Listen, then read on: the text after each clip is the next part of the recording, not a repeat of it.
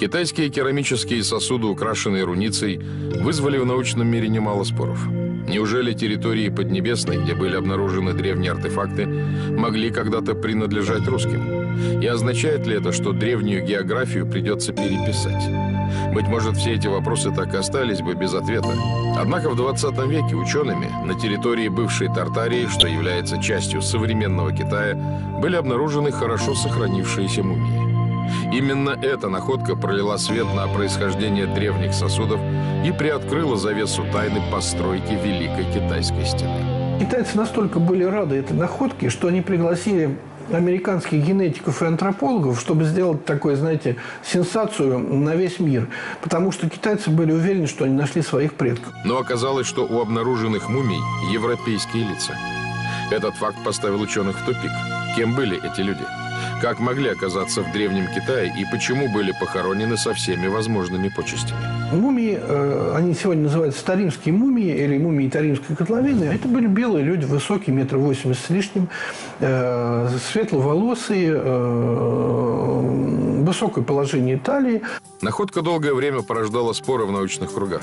Однако все изменилось, когда в распоряжение специалистов поступил генетический анализ останков.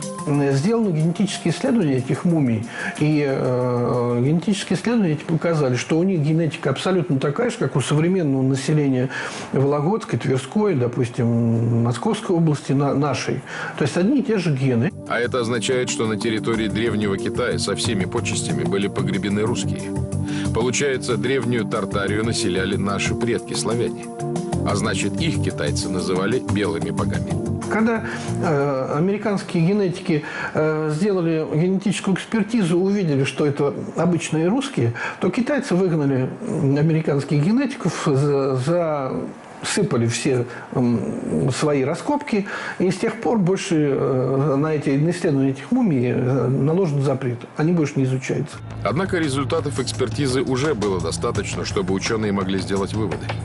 Но почему тогда народ Поднебесный с таким глубоким чтением относился к своим северным соседям? И откуда могли взяться русские мумии в Китае, если первое упоминание о славянах как об отдельном народе датируется только восьмым веком? А это на три тысячи лет позже, чем были захоронены русские мумии. Была переписана история, это не секрет, да, что нашу историю писали три немца.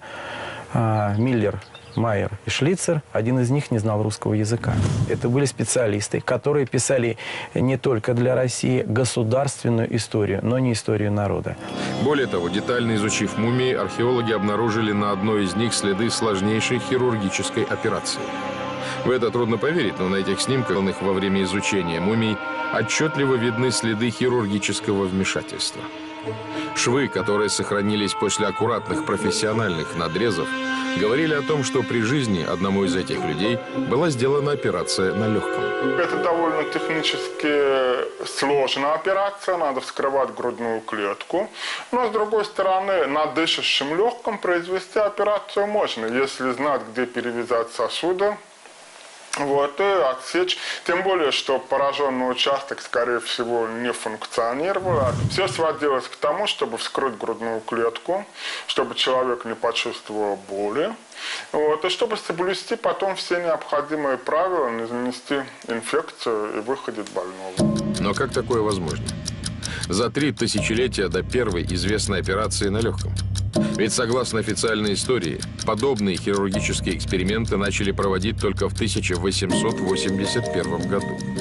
Тогда ученые впервые смогли удалить часть легкого у собаки. Но даже тогда операция не увенчалась успехом, и вскоре подопытное животное скончалось. Однако факты говорят сами за себя. Человеку, чью мумию исследовали ученые, при жизни действительно сделали сложнейшую операцию на легком – но тогда кто мог в древнем мире провести ее? Неужели китайцы? Верится с большим трудом, потому что, во-первых, это уже операция более сложного технически плана. Для нее нужны совершенно другие инструменты, в том числе и оптические. А подобных знаний у китайцев совершенно не было. Принято считать, что первооткрыватели медицины китайцы. Сомнений не вызывает тот факт, что именно народ Поднебесный первым открыл систему кровообращения человека и первым обнаружил существование бактерий.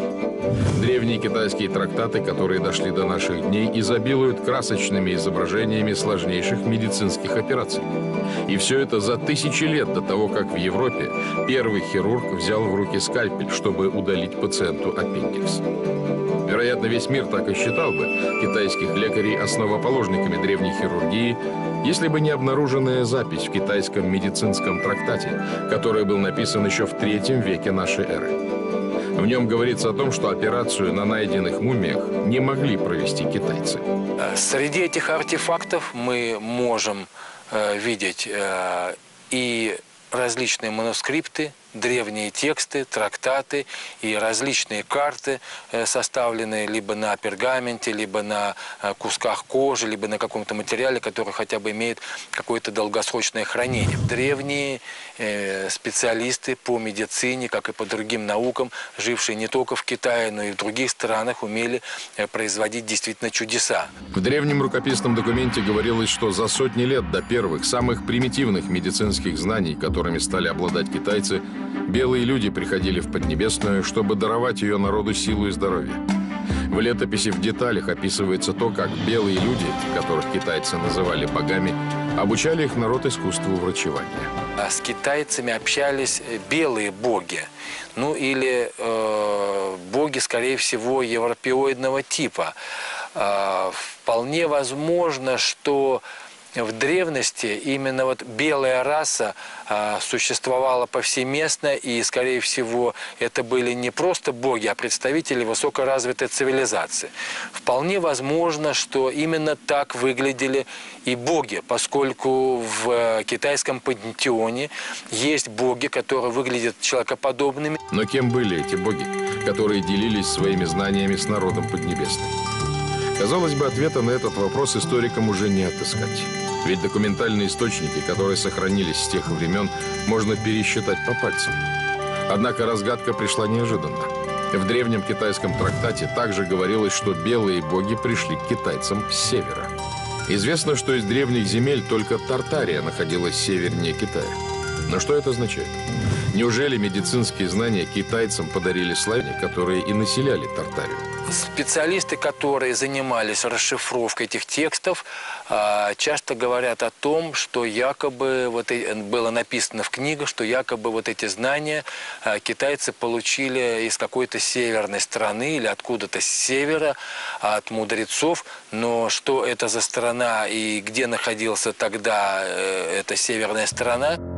В китайском трактате также сказано, если болезнь не поддавалась лечению лекарствами или иглоукалыванием, то белые боги производили надрез и вынимали больной орган. Летописи подробно описывают методы и способы восстановления изъятого органа. Все эти действия, которые сегодня мы бы назвали пересадкой органа. Китайские специалисты нашли довольно большое количество различных научных трактатов. И среди этих трактатов э, имеются трактаты по медицине. И эти э, книги нас просто удивляют, изумляют, э, потому что там уже описаны различные сложнейшие операции хирургические. Каким образом древние мастера уже в третьем, в пятом веке нашей эры могли производить такие сложные операции, как или трансплантация органов, или надрезка э, внутренних частей легкого. Пересадка органов в древнем мире за два тысячелетия до официальной хирургии. Ведь согласно